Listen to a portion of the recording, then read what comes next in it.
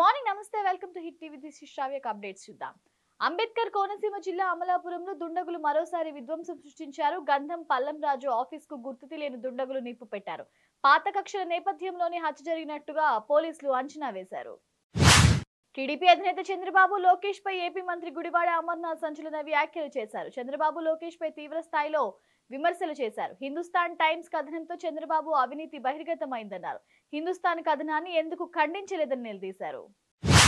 TDP అధ్యక్షుడు చంద్రబాబుపై YCP తీవ్ర ఆరోపణలు చేసింది. ఆదాయ పన్ను శాఖ నుంచి చంద్రబాబుకు నోటీస్ వచ్చిన మాట వాస్తవమా కాదా చెప్పాలని మాజీ మంత్రి పేర్ని నాని డిమాండ్ చేశారు. గతేడాది సెప్టెంబర్లోనే ఐటీ నోటీసు ఇచ్చారని అయినా దాని గురించి ఇప్పటి వరకు ఎందుకు మాట్లాడలేదని ఆయన ప్రశ్నించారు.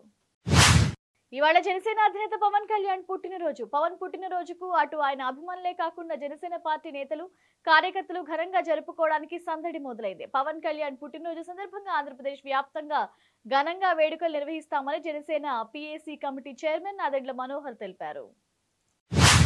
దేశవ్యాప్తంగా మట్టిని సేకరిస్తామని BJP చెప్తోందని APCC working president Sunkara Padmasri విమర్శించారు. ప్రతి ఇంటి నుంచి చిటికెడు మట్టిని సేకరిస్తామని బీజేపీ ఏపీ అధ్యక్షురాలు పురంధరేశ్వరి చేసిన వ్యాఖ్యలపై మండిపడ్డారు. నా భూమి నా దేశం పేరుతో బీజేపీ మరో కొత్త రాజకీయానికి తెరలేపిందని అన్నారు ఆమె. అలిపిరి తిరుమల నడక మార్గం ఏడో మైలు వద్ద నరసింహస్వామి ఆలయం సమీపంలోని అటవీ ప్రాంతంలో మరో చిరుత రెండు రోజులుగా సంచరించడాన్ని ట్రాప్ కెమెరాలో అటవీ శాఖ అధికారులు గుర్తించారు. ఇప్పటి వరకు నాలుగు చిరుతలను పట్టుకోగా తాజాగా మరో చిరుత నరసింహస్వామి ఆలయ సమీపంలో సంచరించడాన్ని గుర్తించారు. తెలంగాణకు హైదరాబాద్ వాతావరణ శాఖ భారీ వర్ష సూచన చేసింది రాష్ట్రంలో. రానున్న మూడు రోజులు మోస్తారు నుంచి భారీ వర్షాలు కురుస్తాయని తెలిపింది. పశ్చిమ మధ్య బంగాళాఖాతంలో ఉపరితల ఆవర్తనం కొనసాగుతుందని పేర్కొంది. సెప్టెంబర్ మూడవ తేదీ నాటికి ఉత్తర బంగాళాఖాతం దాని పరిసర ప్రాంతాల్లో మరో ఆవర్తన ద్రోణి ఏర్పడే అవకాశం ఉందని వెల్లడించింది. హెచ్ఐసిసిలో భారత స్వతంత్ర వజ్రోత్సవాల ముగింపు వేడుకలకు కేసీఆర్ ముఖ్య అతిథిగా హాజరై ప్రసంగించనున్నారు. గత సంవత్సరం వజ్రోత్సవాలను పదిహేను రోజులు జరుపుకున్నామని తెలిపారు. భారత పోరాట చరిత్రను నేటి తరానికి తెలిసే విధంగా వజ్రోత్సవ వేడుకలు నిర్వహించామని పేర్కొన్నారు. రాఖీ పౌర్ణమి పర్వదినాన తెలంగాణ రాష్ట్ర రోడ్డు రవాణా సంస్థ సరికొత్త రికార్డును నమోదు చేసింది. గురువారం ఒక్కరోజు ఇరవై రెండు పాయింట్ ఆరు ఐదు కోట్ల రాబడి సంస్థకు వచ్చింది. ఆర్టీసీ చరిత్రలో ఇదే ఆల్ టైమ్ రికార్డ్. గతేడాది రాఖీ పండుగ నాడు ఇరవై ఒకటి పాయింట్ ఆరు ఆరు కోట్లు ఆదాయం సమకూరగా ఈసారి దాదాపుగా కోటి వరకు అదనంగా ఆర్జించింది. దక్షిణ మధ్య రైల్వే సికింద్రాబాద్ కాకినాడ టౌన్ మధ్య ప్రత్యేక రైళ్ళను నడపనుంది. ప్యాసింజర్స్ రద్దీ అధికంగా ఉన్న క్రమంలో సికింద్రాబాద్ రామాంతపురం మధ్య నడిచే స్పెషల్ ట్రైన్ని పొడిగించింది. సెప్టెంబర్ ఆరవ తేదీ నుంచి ఇరవై ఏడవ తేదీ వరకు ఈ సర్వీస్ను పొడిగిస్తున్నట్లు వెల్లడించింది. ఇటీవల భారీగా పెరిగి భయపెట్టిన టమాటాలతో పాటు ఇతర కూరగాయల ధరలు కూడా దిగుస్తున్నాయి. దాదాపుగా రెండు మూడు నెలల పాటు గరిష్టంగా పెరిగిన ధరలు ఆ తరువాత క్రమంగా తగ్గుముఖం పట్టాయి. తాజాగా హైదరాబాద్లోని సరూర్ నగర్ మార్కెట్లో కిలో టమాటా ధర పదిహేను రూపాయలకు పడిపోయింది.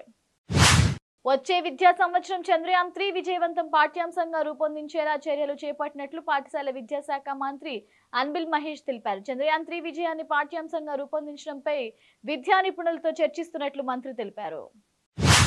పటాన్ చెరువు ఎమ్మెల్యే గూడెం మహిపాల్ రెడ్డి తన నియోజకవర్గానికి చెందిన డబుల్ బెడ్రూమ్ ఇళ్ళ లబ్ధిదారులతో సమావేశమయ్యారు. జీహెచ్ఎంసీ పరిధిలోని పదకొండు వేల ఏడు వందల మంది లబ్ధిదారులకు టూ బీహెచ్కే ఇళ్ళను అందజేయడంలో భాగంగా రాష్ట్ర ప్రభుత్వం పటాన్ చెరువు నియోజకవర్గానికి ఐదు వందల ఇళ్ళను కేటాయించింది.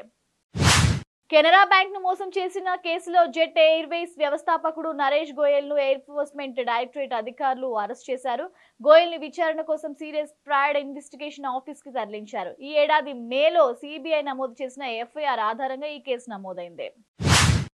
ఎన్నికల అఫిడవిట్లో తప్పుడు సమాచారం ఇచ్చినందుకు గాను జేడీఎస్ ఎంపీ ప్రజ్వల్ రేవణ్ పై కర్ణాటక హైకోర్టు అనర్హత వేటు వేసింది. ప్రజ్వల్ రేవణ్ ఎంపీ సభ్యత్వాన్ని రద్దు చేయాలని డిమాండ్ చేస్తూ హాసన్ నుంచి పోటీ చేసి ఓడిపోయిన బీజేపీ అభ్యర్థి అర్కల్గూడు మంజు రెండు వేల పంతొమ్మిది జూన్ ఇరవై ఆరున హైకోర్టులో పిటిషన్ దాఖలు చేశారు.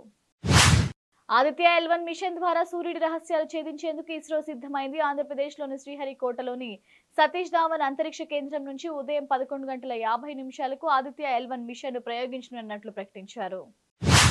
టెస్లా స్పేస్ ఎక్స్ సంస్థ అధినేత ఎలన్ మస్క్ జీవితంపై ఈ నెల పన్నెండున ఒక పుస్తకం విడుదల కానుంది. ఇందులో మస్క్ తన జీవితానికి సంబంధించిన పలు కీలక అంశాలు వెల్లడించారు. ఈ జీవిత చరిత్రలోని కొన్ని కీలక వివరాలు తాజాగా వాల్ స్ట్రీట్ జర్నల్ పత్రికలో ప్రచురితమయ్యాయి. పెళ్ళి చేసుకుంటానని నమ్మించి తనపై అత్యాచారానికి పాల్పడ్డాడంటూ భోజ్పురి నటి ప్రియాంశు సింగ్ సహనటుడు పునీత్ సింగ్ పై పోలీసులకు ఫిర్యాదు చేసింది. బాధిత నటి ఫిర్యాదుపై కేసు నమోదు చేసుకున్న పోలీసులు దర్యాప్తు చేస్తున్నారు. బాలీవుడ్ బాద్షా షారుఖ్ ఖాన్ నటిస్తున్న చిత్రం జవాన్ ఈ సినిమా సెప్టెంబర్ ఏడున హిందీ తమిళం తెలుగు భాషల్లో విడుదల కానుంది ఈ నేపథ్యంలో అడ్వాన్స్ టికెట్ బుకింగ్స్ తాజాగా ప్రారంభమయ్యాయి ప్రముఖ సినీ విశ్లేషకుడు తరుణ్ ఆదర్శ్ తెలిపిన వివరాల మేరకు అడ్వాన్స్ బుకింగ్ ప్రారంభమైన గంటలోనే నలభై రెండు వేల టికెట్లు అమ్ముడుపోయాయి ఇవి ఇప్పటివరకు updates keep watching hit TV Hit TV app, all the success for their launch. Please download the app. Download the Hit TV app now. Please download the app now. Please download the app now. Please download the app now. Download the app now.